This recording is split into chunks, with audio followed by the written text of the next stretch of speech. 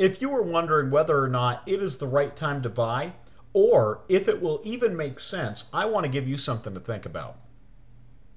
Uh, let's put it in perspective. Here is a cost of living comparison showing some of the difference, differences between 1989 and now.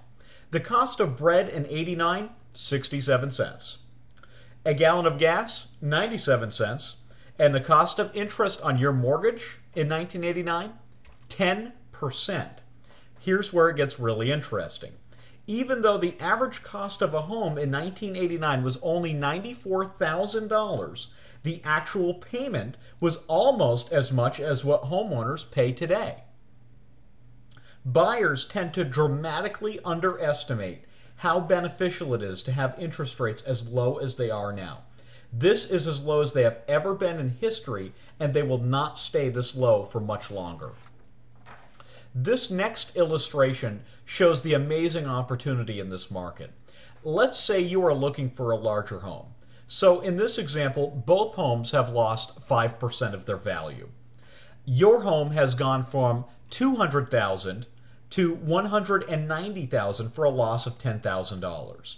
Now the home you're purchasing is worth 400,000 at the peak and because of the 5% depreciation, it is now worth $380,000 for a savings of $20,000. Even though you've taken a loss of $10,000 on your sale, you have bought at a $20,000 discount on the property you're purchasing. The thing that nobody talks about is that this is the best market we have ever seen because it has made dream homes within reach of buyers. This would not be the case if values had gone up.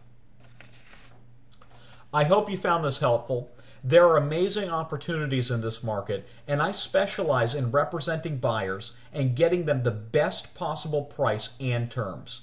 Please give me a ring or shoot me an email for a no cost or obligation consultation.